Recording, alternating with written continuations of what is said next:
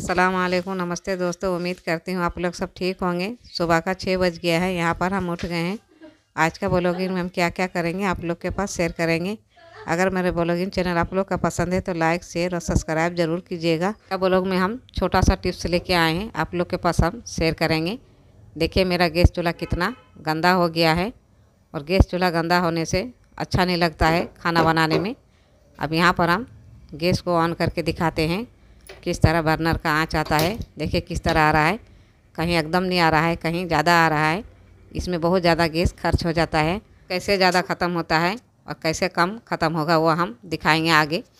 अब यहाँ पर हम इधर वाला गैस को हम चालू कर लेंगे और पानी हम चढ़ाएँगे कटोरा जैसा। यहाँ पर हम पानी को अच्छा से गर्म कर लेंगे। जितना हम पानी को सह सकेंगे, उतना ही हम गर्म करेंगे। अब यहाँ पर हम पानी को गर्म कर रहे हैं। तब तक यहाँ पर हम व्हील सरफ लिए हैं। आप कोई भी सरफ ले सकते हैं। घर में जो इस्तेमाल करते हैं वही वाला, यही वाला हम इस्तेमाल करते हैं। इसीलिए हम यही वाला सरफ लिए हैं। यहाँ पर हम सब स्टैंड को हटा लेंगे। हटाने के बाद यहाँ पर हम जो सरफ लिए हैं, वो चारों तरफ़ हम गैस चूल्हा में हम छिड़काएँगे।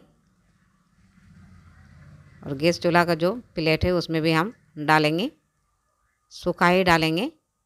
और किस तरह यहाँ पर हम साफ़ करेंगे, आप लोग के पास हम शेयर करेंगे। ज़रूर मेरा ब्लॉगिंग चैनल का टिप्स आप लोग का पसंद आएगा। पसंद आएगा तो लाइक शेयर और सब्सक्राइब ज़रूर कीजिएगा। अब यहाँ पर हम गर्म पानी जो किए हैं, उसको हम डालेंगे। जितना हम सह सकेंगे हाथ में, उतना ही हम गर्म किए हैं। अब देखिए यहाँ पर हम दो से तीन मिनट के लिए छोड़ दिए हैं। देखिए अपने आप साफ़ हो जाएगा। थोड़ा सा यहाँ पर हम हल्का सा घिसेंगे। देखिए यहाँ पर हम जो बर्तन धोते हैं, उसी में हम हल्का हल्का घिसेंगे, उसी में ही साफ़ हो जाएगा। बहुत ही अच्छी तरह से साफ़ हो जाएगा। बहुत ही आसानी से साफ़ हो जाता है। इसमें हम कुछ नहीं डाले हैं, कोई ख़ास चीज़ हम नहीं डाले हैं। जो हम घर में इस्तेमाल करते हैं सरफ वही वाला सरफ से हम धो के दिखाते हैं आप लोग को। और बहुत ही अच्छा साफ़ होता है। आगे दिखाएँगे और हम गैस का किस तरह कम खर्चा होगा। अब यहाँ पर हम सब बर्नर को भी हटा लिए हैं। अब यहाँ पर हम जो सरफ पानी है, गर्म पानी थोड़ा सा जो बचा था, वो भी हम डाल दिए और सब बर्नर को हम डाल देंगे। सब बर्नर को डालने के बाद चार से पाँच मिनट छोड़ देंगे। अच्छा से बर्नर साफ़ हो जाएगा। अब यहाँ पर हम तब तक अच्छा से घीस लेंगे। देखिए हल्का हल्का हम घिस रहे हैं। ज़्यादा हम रगड़ के नहीं घिसेंगे। हल्का हल्का घिसने से साफ़ हो जाएगा। अब यहाँ पर हम एक कपड़ा लिए हैं सूती का। वो थोड़ा सा हम भिंगा लिए हैं और अच्छा से यहाँ पर हम पोछेंगे। एक बार। और देखिए किस तरह साफ़ हो रहा है। एक बरस लेकर के अच्छे से साफ़ करेंगे चारों तरफ़ बर्नर को। जितना अच्छी तरह से साफ़ करेंगे, उतना ही साफ़ होगा आँच अच्छा आएगा। गैस का भी ज़्यादा खर्चा नहीं होगा। अगर चूल्हा अच्छा रहता है तो खाना बनाने का मन बहुत ही करता है। और चूल्हा एकदम गंदा रहता है तो खाना बनाने का मन नहीं करता है। चाहे घर अच्छा रहे, चाहे नहीं रहे, लेकिन चूल्हा अच्छा रहना चाहिए। जिसमें हम लोग खाना बनाते हो ठीक रहना चाहिए। देखिए यहाँ पर हम बर्नर को हम सब रगड़ रगड़ के धो लिए हैं। देखिए किस तरह गंदा भी निकला है कितना। देखिए, अब यहाँ पर हम बर्नर को हम हर बार साफ़ पानी से धो लेंगे और आप लोग को दिखाते हैं किस तरह बर्नर मेरा साफ़ हो गया है और चमक आ गया है। देखिए किस तरह एकदम चमक आ गया है। पहले जैसे कैसा था, अब कैसा हो गया है। कितना लाइट कर रहा है, देखिए। हम बर्नर को धोने के बाद एक सूखा कपड़ा लेंगे। सूखा कपड़ा से पोछने से और चमक आएगा गैस चूल्हा में।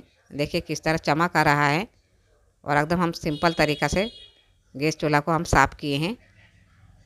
और एक बार साफ़ करने के बाद, गीला कपड़ा से पोछने के बाद फिर से सूखा कपड़ा पोछने से और चमक आता है। हम यहाँ पर सूखा कपड़ा से पोछ रहे हैं, देखिए। बहुत ही चमक आएगा और बहुत ही अच्छा लगता है जब यहाँ पर हम दिखाते हैं दो जगह से ज़्यादा गैस ख़त्म होता है, एक बर्नर से होता है और एक यहाँ से होता है। यहाँ हम लोग अक्सर कम बेसी करते हैं इसमें से कभी कभी जाम हो जाता है तो नहीं हो पाता है, इसीलिए गैस चालू रहता है और फिर हम लोग बंद नहीं कर पाते हैं। अब यहाँ पर हम एक दवा जो लिए हैं, वो दवा का नोखीला से हम साफ़ करेंगे, बहुत ही अच्छी तरह से साफ़ हो जाएगा। अब यहाँ पर हम सादा कपड़ा एक बिछा के दिखाते हैं कितना कचरा निकलता है। यहाँ पर ये वाला जो है दवा का नोखीला एकदम अंदर तक जाएगा और बहुत ही अच्छी तरह से साफ़ होता है। ये दूसरे चीज़ में साफ़ नहीं होता है जितना इसमें साफ़ होता है। और बहुत ही अच्छा से घूमता है और तुरंत गैस चालू हो जाता है और गैस तुरंत बंद हो जाता है। कभी कभी कचरा फंसा हुआ रहता है तो चालू भी नहीं हो पाता है और बंद भी नहीं हो पाता है। ये फंस जाता है। देखिए कितना कचरा निकला है। इसी तरह हम सब में साफ़ कर लेंगे। ये बहुत ही काम का चीज़ है। एक्सपायर हो जाता है तो हम लोग कहीं डस्टबिन में फेंक देते हैं, नाली में फेंक देते हैं। तो एक दिन हम ऐसे करके देखे तो बहुत ही अच्छा साफ़ हुआ, बहुत ही अच्छा घूमने लगा। हम घर में इस्तेमाल किए इस तरह करके हम देखे तो बहुत ही अच्छा इसका रिज़ल्ट मिला। तो हम बोले, एक छोटा सा टिप्स बना के हम आप लोग के पास शेयर करते हैं। ज़रूर आप लोग का पसंद आएगा। पसंद आएगा तो लाइक शेयर और सब्सक्राइब ज़रूर कीजिएगा मेरे सोनी होम ब्लॉग में। देखिए कितना कचरा निकला है। यही वाला कचरा से हम लोग को गैस कम, ज़्यादा खर्च होता है। अब देखिए कितना अच्छा साफ़ हो गया है और कितना क्लीनिंग दिख रहा है, कितना सुंदर हो गया है मेरा गैस चूल्हा। अब यहाँ पर देखिए ये सब में कितना चमक आ रहा है मेरा गैस चूल्हा का। बहुत ही अच्छा साफ़ हो गया है और बहुत ही कम मेहनत में हम साफ़ करके तैयार किए हैं और आप लोग के पास हम शेयर किए हैं। अब यहाँ पर हम सब बर्नर को अच्छे से पोछ लेंगे सूखा कपड़ा से, जैसे पानी नहीं रहना चाहिए। पानी रहेगा तो फिर से गैस ज़्यादा खर्च हो जाएगा। इसीलिए अच्छा से पोछ लेंगे, सूखा कपड़ा से। इसी तरह सब बर्नर को हम पोछ के तैयार कर लेंगे। और देखिए किस तरह चमक आ गया है बर्नर का। पहले कैसा था, अब कैसा हो गया है। हम सब बर्नर को लगाने के बाद जो हम स्टैंड को रखे हैं साइड में, उनको भी हम थोड़ा सा साफ़ कर लेंगे। जो पानी बचा है, उसी में हम थोड़ा सा इस तरह करके भिंगा लेंगे चारों तरफ़। स्टैंड भी साफ़ रहने से अच्छा दिखता है चूल्हा। और स्टैंड भी बहुत सारा गंदा रहता है। जो दूध दूध खोलता है, चाय बनता है वो उबाल के नीचे आ जाता है तो भी गंदा हो जाता है। अब यहाँ पर हम दो मिनट के लिए छोड़ देंगे। अब देखिए यहाँ पर हम एक चाकू से रगड़ के घीस लेंगे। देखिए किस तरह साफ़ हो रहा है और कितना गंदा निकल रहा है। देखिए यहाँ पर हम स्टैंड को भी घीस लिए हैं और कितना गंदा निकला देखिए पानी में। इस सब में भी बहुत सारा गंदा रहता है। देखिए कितना पानी गंदा निकला। अब अच्छा से हम धो लिए हैं। धोने के बाद हम सूखा कपड़ा से इसको भी हम पोछ लेंगे। जैसे पानी नहीं रहना चाहिए। सब हम अच्छा से पोछ लेंगे।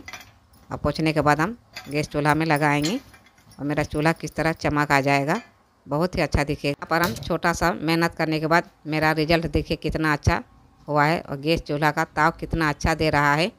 पहले कैसा ताव दे रहा था, अब कैसा दे रहा है, ज़रूर आप लोगों का छोटा सा टिप्स पसंद आएगा। पसंद आएगा तो लाइक, शेयर और सब्सक्राइब ज़रूर कीजिएगा सोनी होम ब्लॉग में और ज़रूर आप लोग सपोर्ट कीजिएगा। सपोर्ट करने से ही हम आगे बढ़ेंगे।